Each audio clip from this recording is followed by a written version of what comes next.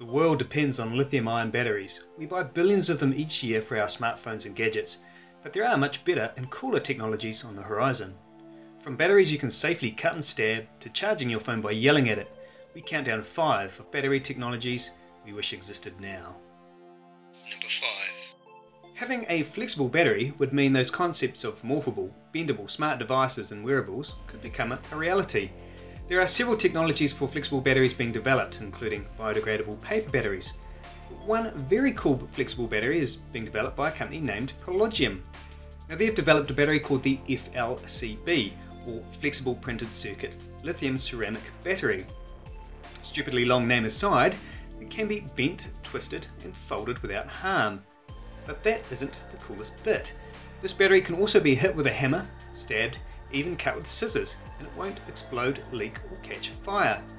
Unlike common lithium ion batteries, which are very volatile and prone to exploding if you stab them, an FLCB is completely solid state, so it contains no flammable or liquid material. Sounds like pretty ideal properties to power devices close to our bodies. More amazing is that even after being punctured or cut, it will still keep on delivering power. Check out Mobile Geeks video, as they tested one battery just kept on going. I'll put links in the description below for this and all the other cool tech mentioned in this video. Number 4. If you're a wall hugger, there are dozens of new technologies being developed that could put an end to your slow charging woes. Like the Israeli nanotech startup called StoreDot, who demoed a synthesized organic battery mounted in the Galaxy S5 being charged from 0 to 100% in less time than it takes to cook 2 minute noodles. Can't spare 2 minutes? Scientists at Stanford University are developing an aluminium ion battery, which is supposed to be safe, inexpensive, flexible, and can recharge a phone in just one minute.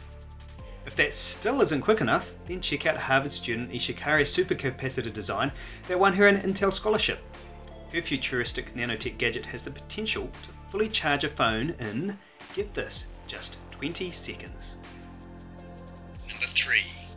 Number 3. Researchers are also looking into different materials to increase energy density for longer battery life and capacity.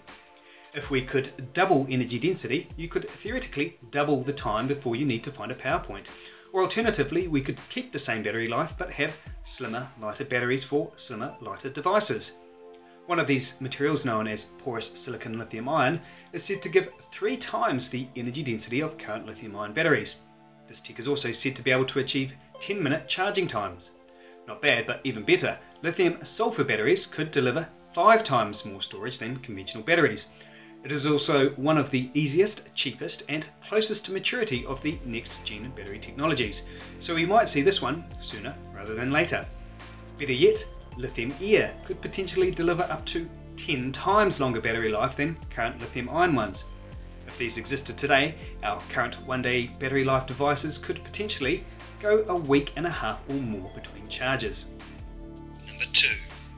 Now, wireless charging already exists today in various forms, but it doesn't give you the same freedom as, say, wireless internet or wireless headphones, because current wireless charging still requires physical contact with a charging pad for it to work. But future wireless charging tech may mean we could power devices over longer distances. One of the most promising long-range wireless technologies is being developed by a company called Ossia. They've demonstrated their technology named COTA that uses Wi-Fi spectrum to wirelessly deliver power up to a range of around 35 feet. Unlike other long-range wireless technologies being developed, COTA isn't line of sight, so it can charge through walls and as it uses a direct cone of energy, is also meant to be more energy efficient. Number 1. It's said that the sun can produce enough energy in one second to meet the entire Earth's current needs for the next 500,000 years. Let's be honest, we are rubbishing at harnessing that power, and as it requires the device to be left out in direct sunlight, it isn't something that would be considered convenient or safe for mobile devices. But I think one of the coolest ideas is the one that taps into energy that is freely around us everywhere, almost all of the time. I'm talking about noise. Researchers in the UK are developing a phone that can be charged by ambient sound, eliminating the need for a charger altogether as the battery will simply top itself up every time it's exposed to sound. Busy coffee shop, PAX train, noise from your living room TV, or even yelling at your kids. It uses nanogenerators to harvest the energy from sound vibrations using a principle called the piezoelectric effect. It is a lot of complicated science, but for all intents and purposes, let's just call it magic. Again, if you're interested in knowing more about any of the tech mentioned in this video, I'll leave links in the description below.